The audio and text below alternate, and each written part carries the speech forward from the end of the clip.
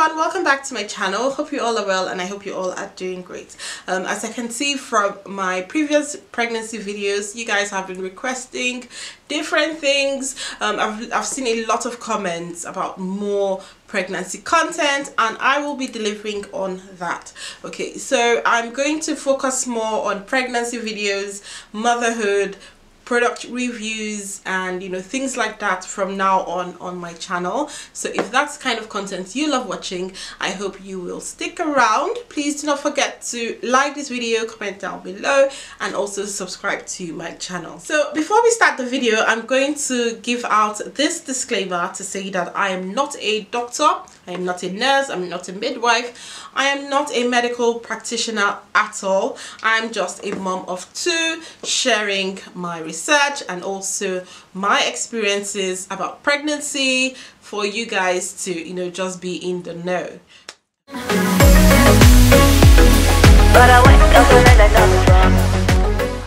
So for today's video, I'm going to share 16 yes you heard it right 16 signs that you're having a boy or a girl. So yes if you're watching this video and you're pregnant congratulations. Like big big big congratulations. I'm so happy for you and i hope you're excited about the journey that you are embarking on. Um, and also if you haven't had your ultrasound yet um, then this is just the video for you because i'm very sure you are curious to know if you're having a boy or a girl. And if you are not pregnant but you're trying to conceive you can also you know gain a few things from this video as well. So the first sign is your hcg hormone levels right? So when you're pregnant your hcg hormone levels are usually high than when you're not pregnant. But um, it has been scientifically proven that it's usually higher for girl pregnancies and slightly lower for boy pregnancies. So if your HCG levels are higher you might be having a girl but if it's slightly lower then you might be having a boy. Need I remind you everybody is different every mom is different and every baby is different so there might be exceptions. I just thought I should throw that in there. So tip number two is mood swings. So if you feel moody or you know hormonal and you just don't feel up for anything really you might be having a girl but um, if you feel you know laid back relaxed chilled you know happy and just you know going with the flow basically you might be having a boy. So yeah of course there are exceptions. In all of these there are exceptions. So it could be different for you. I personally think i i was i had mixed moods really depending on the day I've got two kids, a girl and a boy, and I'm going to share my own experience, you know, after having a girl baby and a boy baby. So, so with regards to mood swings, I think it was pretty much the same for my two pregnancies because some days I was moody and then some days I was pretty much chilled, relaxed, and you know, just laid back basically. So yeah it could be different for you. So sign number three is morning sickness. So most times most pregnant women get morning sickness. I experienced morning sickness as well but some people claim they do not experience it kudos to you. You're a lucky one you know. The morning sickness is you know related to the increase in your hormone levels. So if you have a higher hormone level you will have more morning sickness. So the more morning sickness you have um, or rather the severe morning sickness you have you could be having a girl. And then if you're experiencing little to none at all then you could be having a boy so personally for me um, I had morning sickness for both kids especially in the first trimester. That was when I experienced you know morning sickness and all of that. So it was pretty much the same.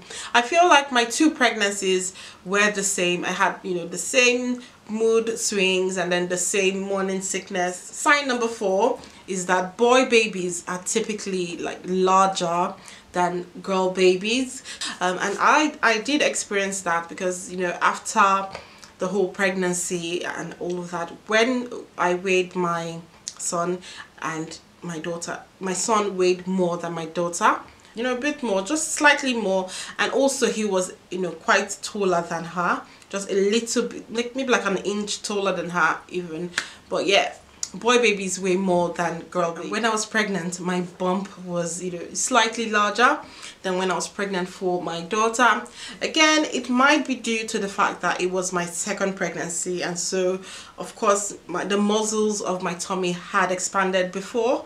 So maybe that is why my tummy was you know a bit larger the second time around. So these are like old wives tales but um of course you need to see a doctor to confirm any of this. I'm just you know giving you guys you know just the general signs that people say indicate a boy or a girl but they're not meant to be like you know the hard or fast rule.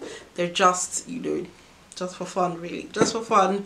Just for fun. Sign number five is your pregnancy glow. So if you have that pregnancy glow you might be having a boy but if you do not have any pregnancy glow and you're having like acne pimples everywhere on your face and you're just looking like a right mess um, you might be having a girl because the old wives tale claims that if you're having a girl, the girl somehow manages to take your beauty away. But that is not true. That is not to say that your your your daughter is taking your beauty away. No, it's just all for fun, okay? Um, but yeah, this could also be due to the increase in your hormone levels that you are already experiencing, okay? So relax, relax, relax, okay? It's not your baby girl stealing your your glow. You're beautiful darling.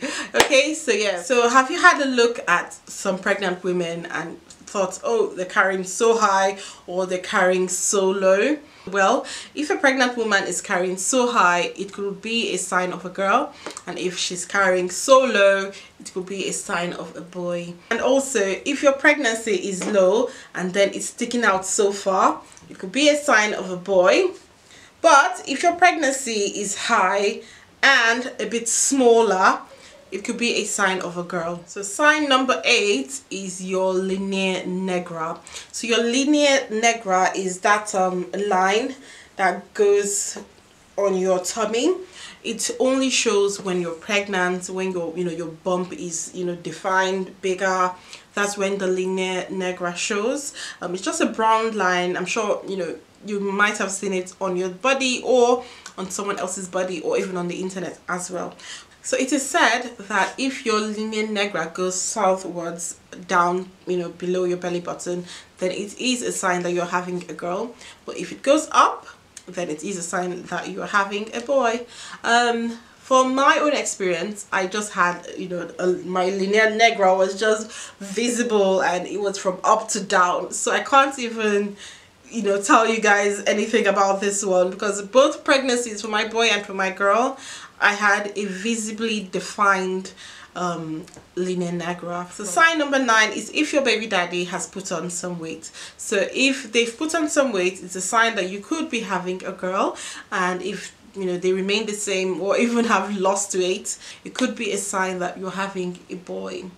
Sign number 10 is your hair growth. So if your hair is growing and you know just blossoming and longer, thicker, you're just shining, glowing, you might be having a boy. This is also related to your pregnancy glow as well so if your hair is growing and doing so well you might be having a boy and if your hair is not growing and it's just the same really no difference maybe even shedding uh, you might be having a girl I did experience the same thing for my two pregnancies. Um, when I was pregnant for my girl, my hair was growing, it was doing so well. I had longer hair, like I was even like, even the hair, my hairstylist was telling me my hair was thicker, longer, and it just looked so lush.